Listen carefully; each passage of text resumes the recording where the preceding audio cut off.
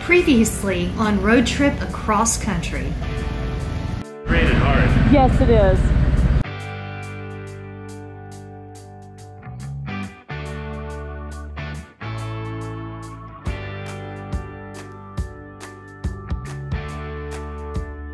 Uh, just stopped here for just a second. Let me see if I can turn around and show you. Yeah. Headed back into rain. And it is cold.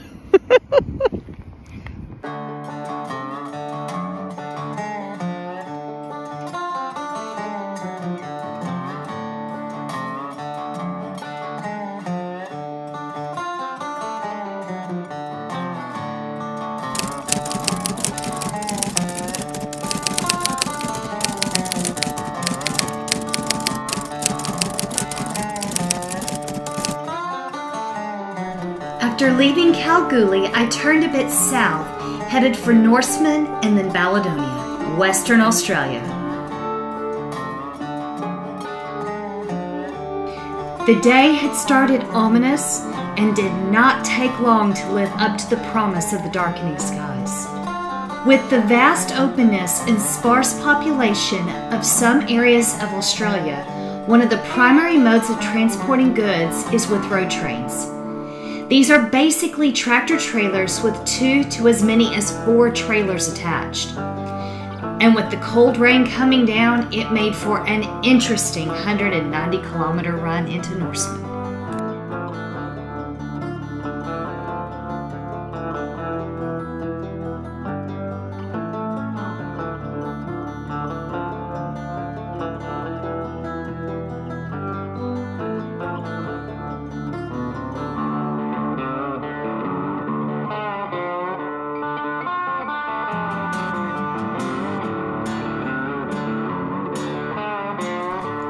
Then, just as I was feeling completely frozen, I finally made my way into Norseman. Hey guys, it is day two. Uh, I, I left Kalgoorlie this morning. I am in Norseman, just stopped to put some fuel in Scarlet. It has been pouring rain. Left Kalgoorlie, it was beautiful.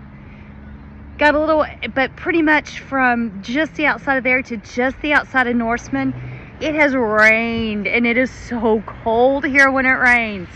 So upper 40s, like running at about 8, 9 degrees and wet. It's been cold, but oh my gosh, the skier has been amazing. But I'm gonna see if I can't find a little place to hike. Today's kind of a short ride day. Uh, kind of like to see if there's something I can find before I land in Balladonia, which is a uber small little spot in the road, but that's where I'm staying for the night.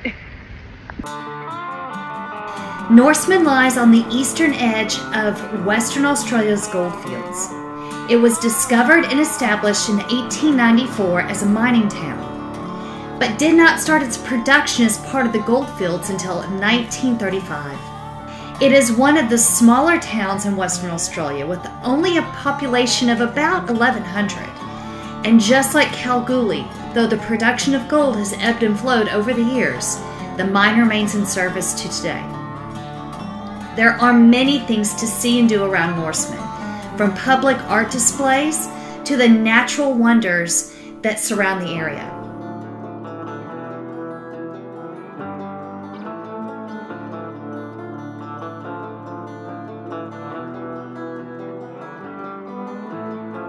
It was here that I started to understand that though Scarlett is amazing for traveling long distances, she was not made for dirt or mud. there are several places in this area that I simply could not see because of the dirt roads required to access the locations. As you leave Norseman, you find yourself at the start of the Eyre Highway and the western gateway into the Nullarbor.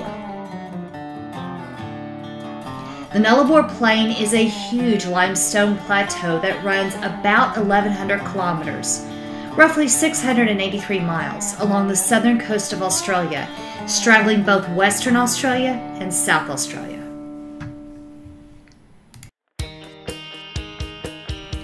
The longest stretch of the Eyre Highway, a two lane highway that runs for almost 1,700 kilometers, is the stretch that runs from Norseman to Balladonia Roadhouse. The highway was named after John Eyre, the first European to cross the Nullarbor Plain in 1841.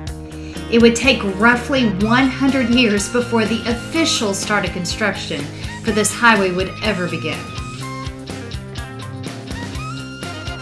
It was along this stretch of highway that I began to understand a whole new meaning of what a small town really is. Many of the towns that dot the Eyre Highway are basically just a roadhouse. These small communities consist of a servo, a pub with limited hours, a hotel with plus or minus 20 rooms, and an RV or caravan park. And that's about it and that is exactly what I found as I made my way into Balladonia. I had been surprised up until this point at how few motorcycles I had seen on the trip. But it seems that many of us just simply arrive at the same place all at once. With such long stretches of road between roadhouses, one quickly learns to not only fuel up whenever you can, but to also take advantage of connecting with each other during these breaks. For you never know when you will need a little help or maybe just a little company to share the next stretch of road.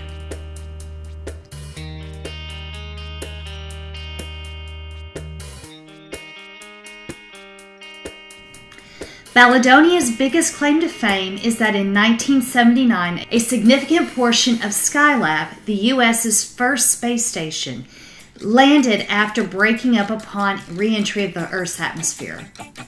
You can learn more about this and many other cool things that have occurred in this remote part of Western Australia by visiting the small museum that is within the Roadhouse. Since leaving Kalgoorlie, I had noticed signs along the road for the Nullarbor Links. Turns out this is the world's longest 18 hole golf course spanning 1,365 kilometers. That's 848 miles along the Eyre Highway. Each hole is located at a participating town or roadhouse.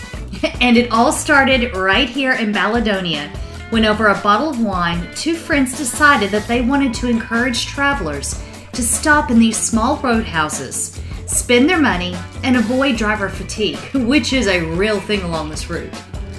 Since both were avid golfers, the course idea was born. Since its opening in 2009, more than 20,000 people have played along this course that takes you roughly three to four days to play through. Though today was a short ride day at only 408 kilometers, after riding in the cold and rain for two days, I was happy to call it a night. After settling in, I downloaded my footage, jotted down my thoughts before finding dinner and sleep. And it was a good thing that I did, for I was fully headed into the Nullarbor the next day and had only begun to understand it would take me a further two days to cross it.